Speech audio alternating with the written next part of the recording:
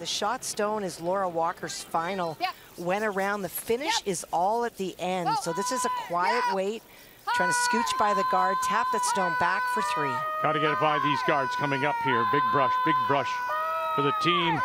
Oh, oh. gosh, from Thunder Bay. Oh, man. Tap it back, sit down, look at this. Three it is. Sorry, Back yellow. to back, brilliant shots by Krista Great, McCarville. champion. Did I Such a great shot maker. That went through the back of guard. Top Shots is brought to you by AGI, equipment and technology solutions for agriculture. Visit aggrowth.com slash Brier for your chance to win a trip to the 2022 Tim Hortons Brier in Lethbridge.